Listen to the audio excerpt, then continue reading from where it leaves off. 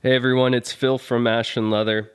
And hopefully you didn't miss me too much, but I've been sick the last couple days, so I missed out on all the shipments that went on Friday, but I wanted to come back in today. I'm still not 100% here. I can't wait to show you all the stuff that's shipping out today. And to start it off, I wanted to show you uh, a little bit of a difference between the raw shell cordovan, which is this Johnny the Fox I have here, versus just the regular natural shell and then a bunch of other things that we're shipping out today.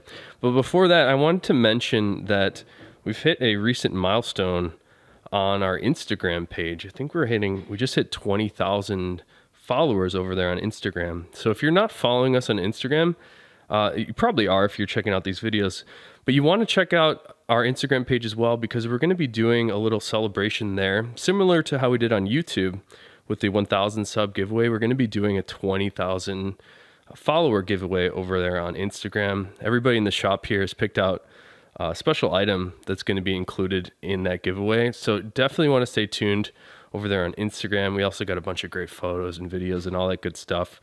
But on with some of the stuff here that we're shipping out today. And I wanted to show you the difference between the raw shell cordovan and the natural shell. And the biggest difference to me is the luster. If you take a look at the raw shell, it starts off pretty dull. It's got like a subtle sheen to it, but the natural shell in my hand here, you can see it has much more of like a mirror-like finish. And also I wanted to give you another, here's a, another raw shell here. So we've got two raw shells and one regular shell. And what's cool about the raw is you sort of see all the random variation in there that I really like. And what's also super great is the way that this wears in and ages over time is much more dramatic than any other leather that I've seen. So it's not only the luster that is significantly different, but also the way that this will patina is slightly different. So we start to see both of these change color very dramatically. In fact, here's a raw shell cordovan Fat Herbie that I wore for about a year. You can really see how much darker and more golden it's become. But what's really special about it is that luster that has developed. And for me, I just like seeing that dramatic difference of natural wear over time where it starts off kind of dull, and then the more you wear it, the more glassy and smooth and polished it looks. I just think the raw shell is super special for that reason. If you want something that's going to age with your style over time, I think the raw is the way to go. If you want to start off a little bit more polished, a little bit more finished, the natural shell is also really nice. This will develop to look very similar, but it's just a little less dramatic than the raw shells. So we got a really good A-B example here. This is a natural shell cordovan, Johnny the Fox, with our custom horsehide interior. This is a color called Mock, which is a light tan shade. And then we have the counterpart here, the raw shell cordovan, also with that mock interior. Very cool. Two of the same styles with just two different raw shell or two different natural shell uh, versions on the outside. And one more raw shell Johnny the Fox today. This one is super special with a color 8 reverse interior. This one is just going to wear in incredibly and start to look kind of like my Herbie that I was mentioning. Really like the golden and darker tones that are starting to come out of this. And of course that bright shiny luster. And we've got a couple valet trays going out today. This is a really nice piece of natural chrome excel. Nice taupe color. We use these valet trays all over the place. I think they're really great. And here I've got another really neat valet tray. This one is in the color 8 chrome excel that same rich, waxy, and oily feel that we expect from all the Chrome Excels, but this one has that classic dark brown burgundy color of the Color 8. It's very similar to the Color 8 Shell Cordovan, but on the Chrome Excel leather. Up next here, I've got a really nice Garnet Shell Cordovan Frank the Enforcer.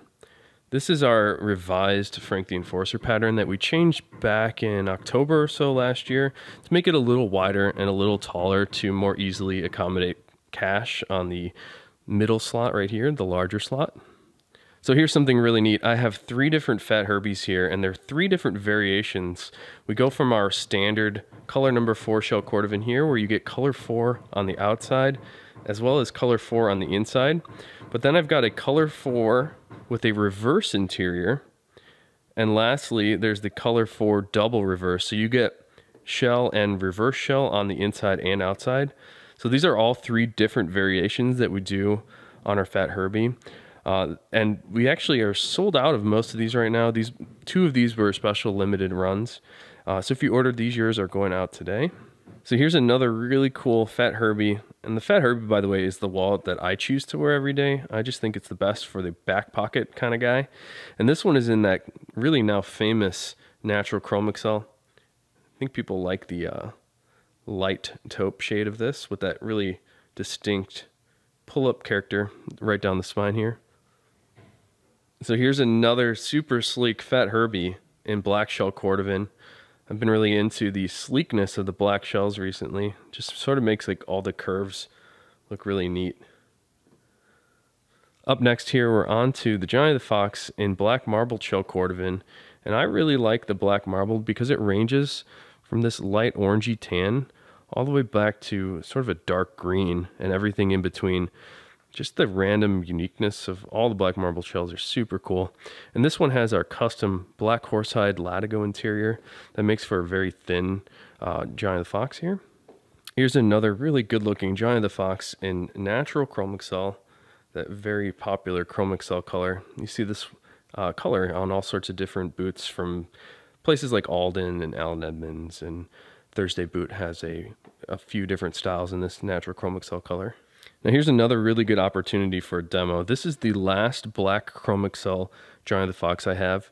And I have a black Dublin Johnny the Fox here that is replacing our Chrome Excel for the black leathers. And I really like the black Dublin. I think it's the best black leather, which is why I've replaced it for all our black Johnny the Foxes. Um, I just think it's better. So I made the choice to uh, sort of replace all the Chrome Excel, even though the Chrome Excel is super nice.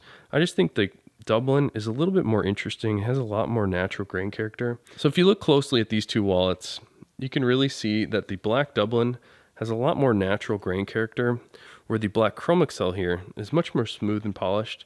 They're both very nice, but I've been gravitating recently uh, more towards the natural character of the black Dublin. I just think it's the best black leather around. And I have a couple Tony the Ants here to show you today. This one is in, again, that Dublin leather, but this is English tan Dublin.